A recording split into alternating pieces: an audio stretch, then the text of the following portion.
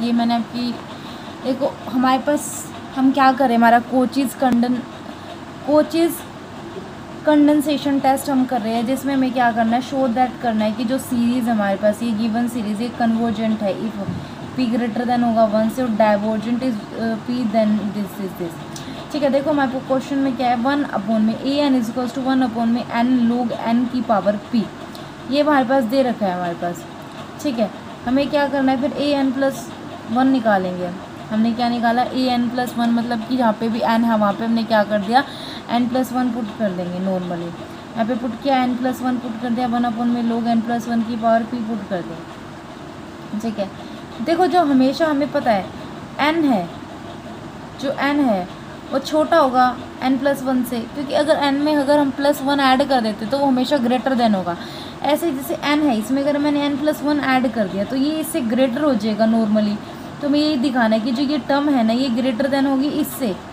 इससे greater than होगी ये फॉर ऑल एन बट अगर देखो रेसिप्रोकल कर देते, अगर हम रेसिप्रोकल करेंगे वन अपॉन में लेके चलेंगे तो यही टर्म होगी इससे बड़ी।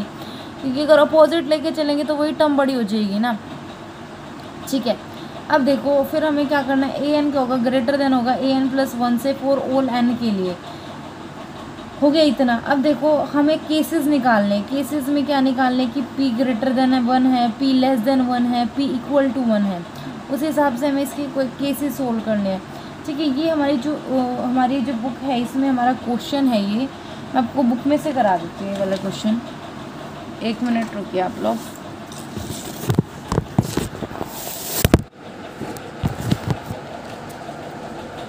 हमारी बुक का फ़र्स्ट एग्ज़ाम्पल है ये। देखो बुक में एग्ज़ाम्पल है कोचेस कंसन कंडेंसेशन टेस्ट के लिए। देखो, इसमें क्या करना है? इतना हमने सोल्व कर लिया। ठीक है, इतना हमने सोल्व कर लिया। इसमें कोई भी दिक्कत नहीं है। अब देखो, हमें क्या निकालना है? हमें निकालना है, यहाँ से देख लीजिए आप। हमें क्या करना होता है? हमारी जो सीरीज़ होती है कोचिस कंडेंसेशन टेस्ट के लिए हमें क्या करना होता है? ये हमारे पास है और ये हमें कन्वर्ज और डाइवर्जेस टुगेदर करते हैं। तो हमें क्या निकालना होता है? टू की पावर एन ए के बेस में टू एन निकालना होता है ठीक है?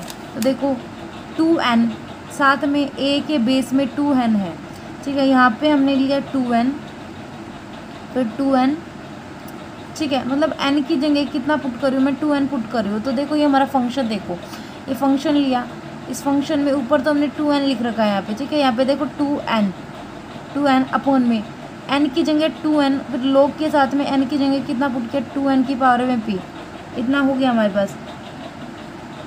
ये टू एन है, ये कंप्लीट की पावर पी है। देखो, क्योंकि पी पूरे कंप्लीट की ही ये क्या है पावर चल रहा है। ठीक है, इस टू एन को मैंने बाहर निकाल लिया। टू एन पी बन जाएगा ये। ठीक है, लोग टू एन पी भी बन जाएगा इसको। अब देखो, ये एन पी है यहाँ पे। टू एन हो गया। अब देखो टू एन ऊपर है और नीचे क्या है? टू एन पी है। तो हम क्या लिख सकते हैं इसको? टू एन को अगर मैं नीचे लेके आऊँ तो की पावर माइनस वन हो जाएगी एन यहाँ पे टू एन पी है। ठीक है, इन दोनों को अगर मैं साथ में लेके चलूँ तो क्या बन जाएगा? टू की पावर माइनस प्लस में एन पी। मतलब कि अगर मैं एन कॉमन निकालूँ तो क्या बन जाएगा? पी माइनस में वन बन जाएगा। वही इसने यहाँ पे लिख रखा है। वन अपॉन में एन, वन अपॉन में एन लोग टू पी यहाँ पे एज इट इज़ चल रहा है। ओके देखो जो टू की पावर है लॉग के साथ में टू की पावर है तो इसको मैं आगे ला लिख सकती हूँ तो एन लोग टू मैंने यहाँ पे लिख दिया। अब इसने दे रखा है कि भाई जो ये चीज़ है, ये लेस देन होगी वन से। ओके देन अब ये चीज़ अगर लेस देन होगी वन से तो हमने इसको लेस देन दिखा दिया। अब यहाँ पे क्या बनेगा, बचेगा वन अपोन में n log two p one upon में लोग टू देखो, ये ऑलमोस्ट इसके जब लेस देन ही हो जाएगी तो नेगलेक्टिंग करके लेस देन करके साइन करके हम इसको सोल्व कर रहे हैं। अपोन में ये पी इसके ऊपर भी ले दिया, इसके ऊपर भी ले दिया। वन अपोन में n p log two p ठीक है देन ये हमने एज इट इज़ लिखा लेस देन हो जाएगा वन अपॉन में n p log two p for all n सभी एन के लिए है ये, ठीक है। अब देखो इज़ कन्वर्जेंट होगी फोर कन्वर्जेंट किसके लिए? पी ग्रेटर देन किसके? वन के, बता रखा है इसने p is greater than one by comparison test is convergent comparison test हम कैसे लेके चलते हैं कि जो भी, जैसे कि हमारे पास, ये जो हमारे पास कॉमन होता है, फिर उसको हम क्या लेके चलते हैं? कॉमन होता है, उसको हम, क्या था वो भाई? बी एन था वो। ठीक है वी एन वैल्यू लेके चलते हैं हम इसको। ठीक है, फिर कंपैरिजन टेस्ट भी किया था हमने वहाँ से, हम कंपेयर करते हैं उसको, उस हिसाब से हम उसको सोल्व करते हैं। ठीक है तो ये इतना हो गया कन्वर्जेंट हो गया। अब देखो वन अपॉन में एन पी ही दे रखा है इसने। कंपैरिजन टेंस से क्या हो जाएगा? कन्वर्जेंट हो जाएगा। और यहाँ से एक बात देखो, इस पी की वैल्यू कितनी है यहाँ पे? फ़िलहाल पी दे रखी है यहाँ पे तो खैर, कुछ है ही नहीं। बाई कोचिज जो कोचिज का कंडेंसेशन टेस्ट है we have a n is convergent हो गया हमारे पास। अब हम पी की वैल्यू वन लेके चलेंगे। जहाँ पे जहाँ पे पी है, वहाँ पे आप, वहाँ पे आप वन पुट करोगे। आप वन पुट करके सोल्व करोगे। देखो टू एन से टू एन कैंसिल हो जाएगा पहले ही बाहर आते। ठीक है, ये रह जाएगा। एन आगे आ जाएगा लोग टू आ गया यहाँ पे। देखो one upon n is divergent one upon n divergent है। ठीक है two n a two n is divergent देखो, हमारे पास एक पी टेस्ट होता है। उसके अकॉर्डिंग अगर अगर भाई पी की वैल्यू वन होती है, जैसे एन पी होता है, यहाँ पे एन पी होता है, यहाँ पे वैल्यू वन है पी की वैल्यू वन हो गई, तब ये डाइवर्जेंट हो जाता है। ठीक है by comparison test p test ठीक है बाय कोचेज जो कोचेज का कंडेंसेशन टेस्ट है, उसके अकॉर्डिंग भी डाइवर्जेंट हो गया। अब पी हमें क्या लेना है? लेस देन वन लेके चलना है। लेस देन वन लेके चलेंगे, ये पुट किया, ये एज इट इज़ नॉर्मली जैसे हम सोल्व कर रहे थे, वैसे सोल्व हो रहा है।